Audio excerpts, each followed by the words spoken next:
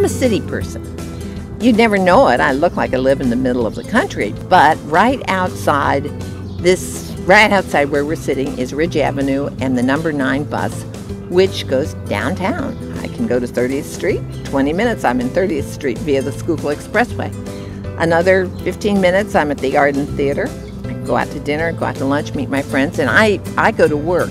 A lot of people here still work, most of them part time. Um, the people here are remarkable. They're funny.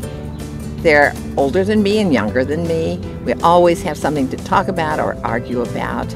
Um, we have experiences that are common. We have experiences that are very different. Um, it's it's it's fun to be in a place where you're constantly making new friends, and you're not alone. Things that is so special about Cathedral Village is the fact that you can live here happily with pets.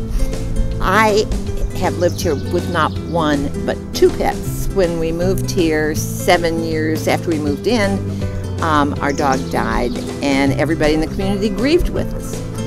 Then, six months later, up comes this guy, Austin. He's a rescue dog. He's across the street in an Adopt Me vest.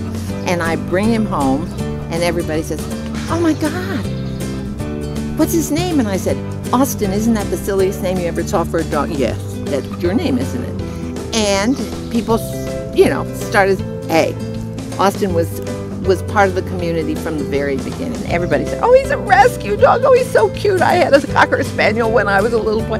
I mean, pets are not just um, allowed. That's really key.